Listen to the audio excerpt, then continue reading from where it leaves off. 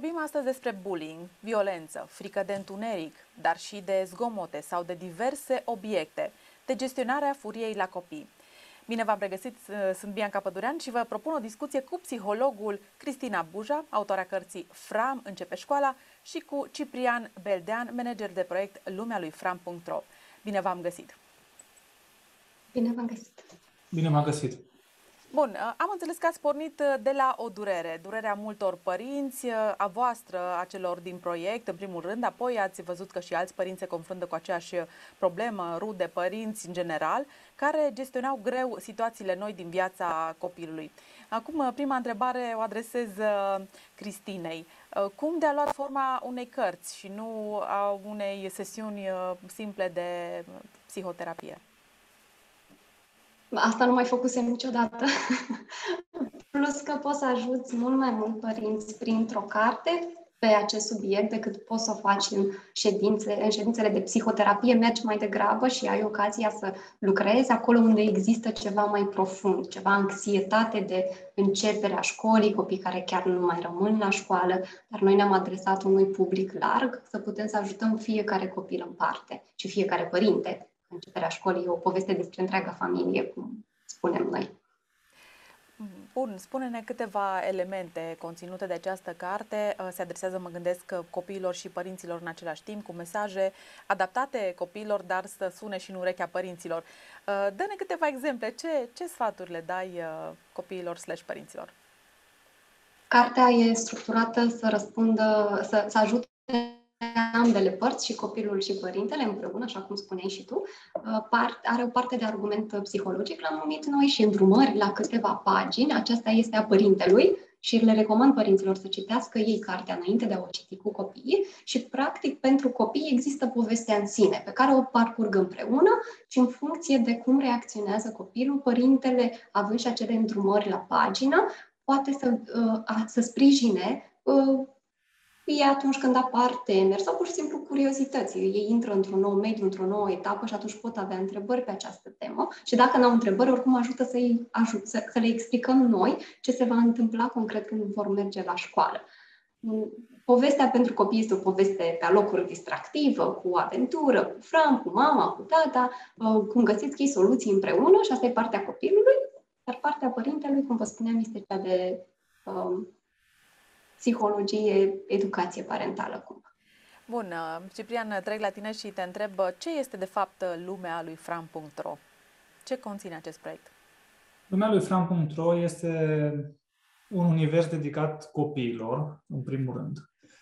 E un univers de entertainment, de distracție, de divertisment, mai degrabă, pentru copii, în care ei pot să descopere numere, lumea prin uh, acest ursuleț care e ca și ei. Adică și el e un copil, are tot felul de medii noi în care merge, grădiniță, școală sau emoții care nu le cunoaște și merge înainte. De fapt, fram în limba norvegiană, nu știu dacă mulți dintre spectatori știu, înseamnă înainte.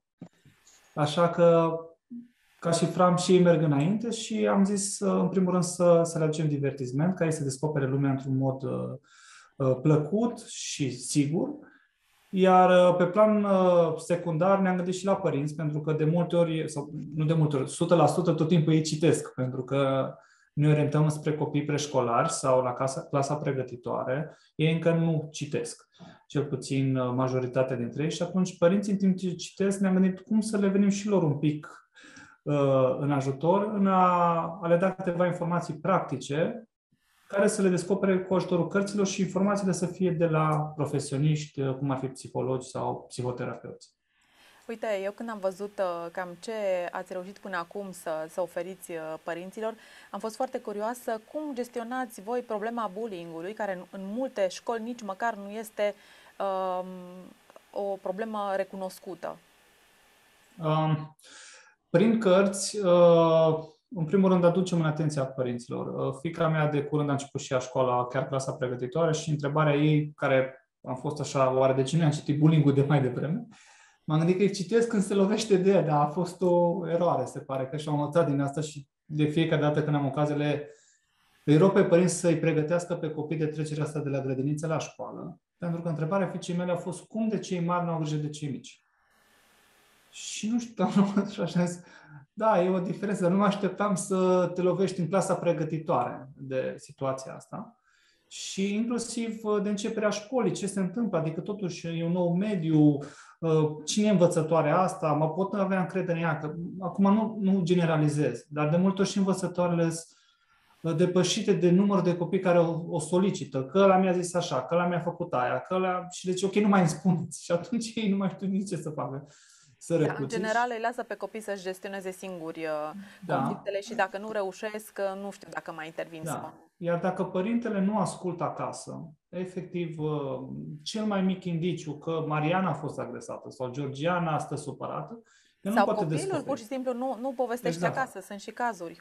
Exact. Atunci el nu, nu, nu, e, nu e conștient prin ce trece copilul și se va trezi prin casa a doua sau a întâia că nu mai vrea să meargă la școală copilul nu mai vrea școala respectivă, nu are prieteni și apar tot felul de provocări de genul ăsta.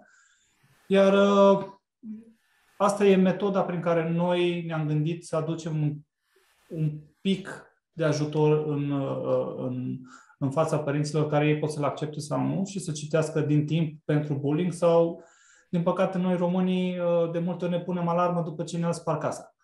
Și atunci ar fi bine să fim un pic preventivi. Ce nu prea suntem obișnuiți. Eu cred că se va schimba. Cristina, revin puțin la tine să te întreb uh, legat de aceste cărți, dacă ele pot fi citite și în clasă de doamna învățătoare, de doamna profesoară, de un psiholog, dacă Sigur. ele se adresează doar părinților sau pot fi folosite și ca material didactic pot fi folosite în clasă. Chiar am o astfel de solicitare, nici am apucat să-i povestesc lui Ciprian, o să vorbim noi apoi la telefon. Chiar am solicitarea de a uh, citi eu și am aprobat-o, am acceptat-o, de a citi um, povestea împreună cu doamna care organizează clasa undeva în state, în niște state mai uh, izolate și sărace din România, unde probabil ei nu își permit neapărat să aibă acasă sau poate că există și categoria de părinți care nu cum să spun ca să spun frumos, care nu se preocupă de toate detaliile acestea. Da. Și atunci învățătoarea poate veni ea cu un sprijin, să citească împreună, să aibă carte, să citească împreună cu copiii la început, poate chiar în primele zile de școală, să citească această poveste și să vină ea cu informații suplimentare pentru copii, să-i întrebe pe ei, dar voi uh, ce întrebări aveți, ce curiozități și astfel să, uh, să, să-i pregătească pentru ceea ce înseamnă școală. Uite, aș vrea să te întreb chiar să ne dai câteva exemple concrete de sfaturi, uh, cum să gestioneze emoțiile um, în momentul în care uh, este frică sau nu știe să spună lucrul acesta. Ce, ce, ce poate face un părinte, ce, ce poate să-i spună copilului? Cartea ajută din punctul acesta de vedere și atât pe cei care au întrebări și temeri, copiii care au întrebări, temeri uh, legate de școală, cât și pentru cei care nu au neapărat obișnuința de a vorbi despre ceea ce simt sau să pună întrebări și atunci cartea îi poate tocmai stimula din acest punct de vedere. Uh, ce putem să facem pentru ei este să-i și pregătim practic, dar și ceea ce spun fiecare ocazie în care am, în care pot să transmit acest mesaj părinților, că este important, indiferent de etapa de care vorbim, de grădiniță, școală, orice început și orice zi al vieții, a vieții noastre, este important să fim disponibili cu răbdare, cu blândețe și cu intenția de a privi viața din perspectiva copilului. Și atunci când noi facem lucrurile acestea și le creăm mediile în care ei se pot exprima, ei pot primul pas, acela de a manifesta ceea ce simt și atunci ce putem noi să facem ca părinți este să fim acolo pentru ei. Să normalizăm, să validăm, să înțelegem, să-i sprijinim, să știe că e, uneori, că e în regulă ceea ce simt, pentru că de multe ori chiar este în regulă. E în regulă să-ți fie teamă că începi școala din moment ce tu nu știi ce se întâmplă acolo. Lucrurile acestea se temperează atunci când părintele vine către copil și când îi oferă un sprijin. La capitolul gestionarea furiei, care ar fi primele trei lucruri importante pe care trebuie să le știe atât un părinte cât și un cadru didactic? De cele mai multe ori copiii au um, explozii de furie chiar în timpul școlii. Îți mulțumesc mult că mi-ai pus această întrebare. Uh, cea mai, uh, um, cred că elementul important și iar profit de acest interviu ca să-mi spun, în, uh, în spatele furiei se află de cele mai multe ori durere. Și un copil care este furios este un copil care are nevoie de sprijinul nostru, de atenția noastră, să, să aflăm ce s-a întâmplat de fapt cu el de a ajuns în acest punct și să-l ajutăm și pe el să înțeleagă. Pentru că e posibil nici el să nu realizeze. Uneori și nouă adulților ne este greu, ne înfuriem deodată, ne deranjează ceva, dar, doamne, parcă nu prea știu ce s-a întâmplat. Asta e meseria mea, să aflăm ce se întâmplă cu noi. Și atunci, um, asta cred că e mesajul cel mai important. În spatele furii se află de cele mai multe ori o durere sau o nevoie neîmplinită. Și din partea aceasta vine. Ele sunt legate. Când nevoile noastre nu sunt împlinite, atunci noi suferim. Așa este. Uh, vreau să vă să-l întreb uh, și pe Ciprian de Fram începe școala, unde poate fi găsită, dacă este și online, dacă vă, pot, vă poate cineva contacta cu sfaturi mai departe legate de aceste subiecte pe care voi le atingeți. Uh, noua carte lansată chiar de o săptămână, cred că avem, se va găsi și se găsește în momentul de față pe site-ul nostru, pe lumealuifran.ro. Uh, ne dorim foarte mult să ajungă și în librării. Momentan lucrăm la rețeaua de distribuție pentru această carte, să ajungă cât mai repede în cât mai multe librării din țară. Trebuie să remarc un singur fapt că ați, l-ați ales pe Fram, care este un personaj destul de și o poveste destul de tristă când le-am cerut, ce am, le-am citit-o copiilor mei, a trebuit să le fac eu după aceea consiliere psihologică, să le exprim, să le explic uh, de ce se comporta Fram într-un anume fel sau altul. Cezar Petrescu a scris o minunăție de carte. Uh, felicitări pentru proiect și vă mai așteptăm la noi și cu alte detalii despre proiectele voastre și despre cărțile voastre de fiecare dată când, uh, când le scoateți. Cu mare drag. Vă mulțumim, mulțumim. că ne-ați primit. Atâta pentru astăzi. Vă mulțumesc că v-ați uitat la noi. Ne vedem pe net.